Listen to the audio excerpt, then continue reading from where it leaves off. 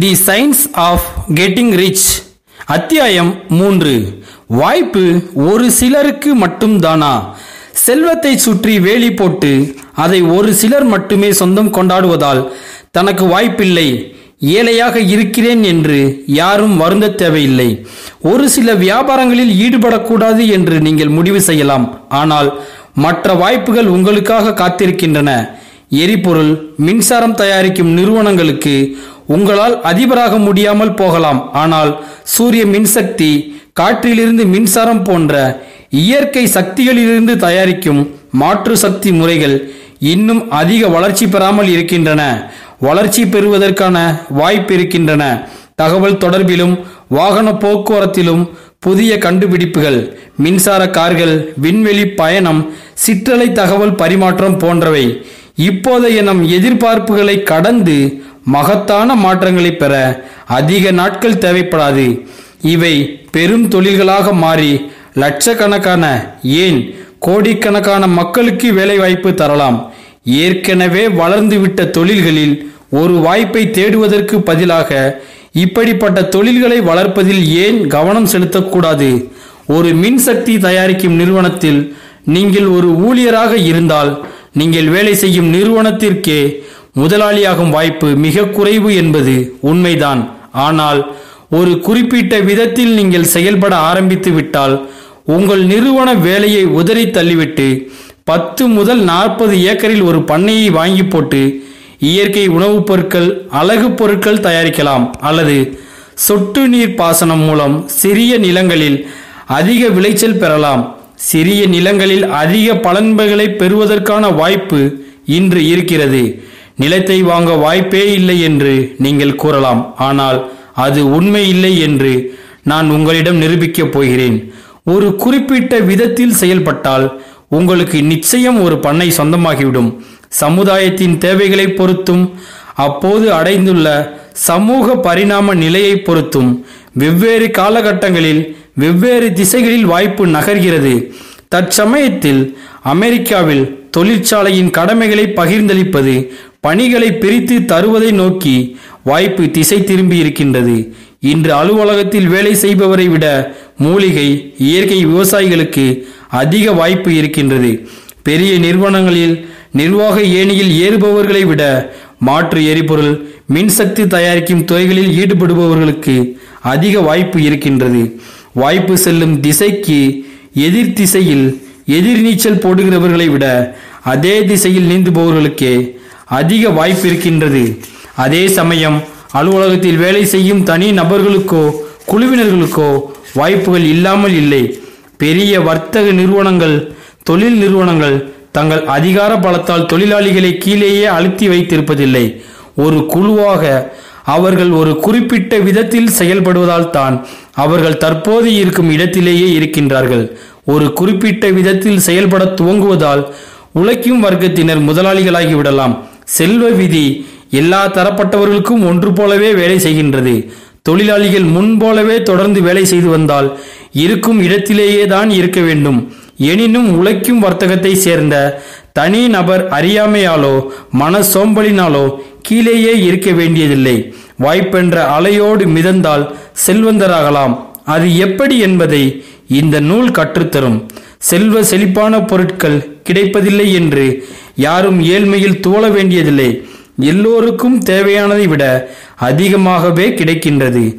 Washington தலைநகரைப் போலவே பெரிய அரண்மனையை ஒவ்வொரு குடும்பத்தினருக்கும் தருவதற்கு தேவையான கட்டுமான பொருட்கள் அமெரிக்காவில் மட்டுமே கிடைத்து விடுகின்றது. தீவிரமாக சாகுபடி செய்தால் இந்த உலகில் உள்ள ஒவ்வொரு நபருக்கும் தேவையான பருத்தி கம்பிளி பட்டு உணவு போன்றவற்றை அமெரிக்காவிலேயே உற்பத்தி செய்துவிட முடியும். விளைபொருட்கள் கிடைப்பதற்கு தடையேதும் இல்லை நிலத்திற்கு அடியில் இருக்கும் பொருட்களுக்கும் குறைவில்லை. இந்த உலகில் நீங்கள் காணும் பொருட்கள் அனைத்துமே ஒரே ஒரு பொருளில் இருந்தே உருவாக்கப்பட்டன. பழைய பொருட்கள் கரைந்து மறைய புதிய வடிவங்கள் அவற்றிலிருந்து தொடர்ந்து உருவாகின்றன. ஆனால் எல்லா வடிவங்களும் ஒரே பொருளில் இருந்தே உருவாகின்றன. மூலப்பொருள் என்ற இந்த வடிவமற்ற பொருள் தொடர்ந்து கிடைப்பதற்கு தடை ஏதுமில்லை. இந்த பிரபஞ்சமே அதனால்தான் உருவானது. ஆனால் பிரபஞ்சத்தை உருவாக்குவதிலேயே அது தீர்ந்து போய்விடவில்லை. பார்க்கும் பொருட்களுக்கு இடையேயும் நடுவேயும் உள்ளேயும் உள்ள இடைவெளிகளில் இந்த உண்மையான மூலப்பொருள் வடிவமற்ற பொருள் நிரம்பியிருக்கின்றது ஊடுருவி இருக்கின்றது. இப்போதுள்ள பிரபஞ்சத்தைப் போல பத்தாயிரம் பிரபஞ்சங்களை இங்குள்ள இந்த மூலப்பொருளால் உருவாக்கினாலும் அது வற்றி விடாது தீர்ந்து விடாது. எனவே இயற்கை ஏழ்மையானது என்பதாலோ போதிய வசதிகள் இல்லை என்பதாலோ யாருமே ஏழையாக இல்லை. வற்றிவிடாத செல்வங்களின் கஜானா இயற்கை. இங்கே செல்வங்கள் குறைந்து போவதே இல்லை. மூலப்பொருளானது கற்பனா சக்தியுடன் உயிர் துடிப்புடன் இருக்கின்றது. தொடர்ந்து பல வடிவங்களை எடுத்துக்கொண்டிருக்கின்றது மூலப்பொருள் தீர தீர புதிய மூலப்பொருட்கள் உருவாகிவிடும்.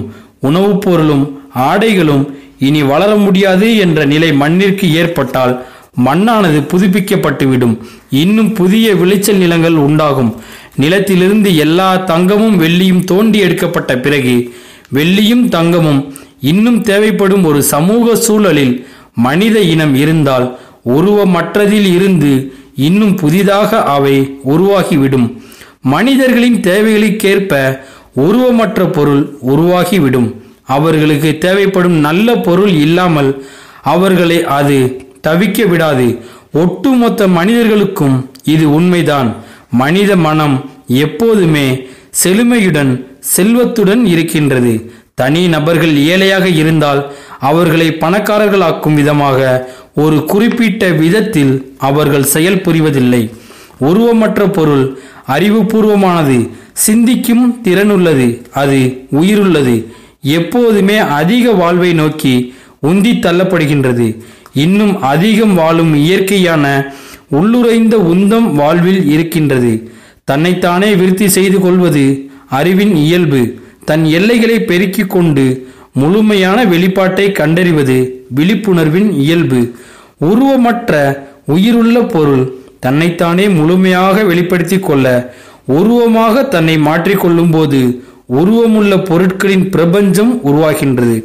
பிரபஞ்சம் என்பது ஓர் உன்னதமான உயிருள்ள இருப்பு அதிக வாழ்வு முழுமையான செயல்புரிதலை நோக்கி அது எப்போதுமே இயல்பாகவே இயங்கிக் கொண்டிருக்கின்றது. வாழ்வின் முன்னேற்றத்திற்காகவே இயற்கை படைக்கப்பட்டிருக்கின்றது. வாழ்வை அதிகரிப்பதே அதன் நோக்கம். இந்த காரணத்திற்காகவே வாழ்விற்கு பயன்படும் எல்லாமே ஏராளமாக வழங்கப்பட்டுள்ளன. தனக்குத்தானே முரண்பட்டு தனது சொந்த படைப்புகளையே அழிக்க கடவுள் முடிவு செய்திராவிட்டால் தவிர எதுவும் குறைவாக வழங்கப்பட்டிருக்காது.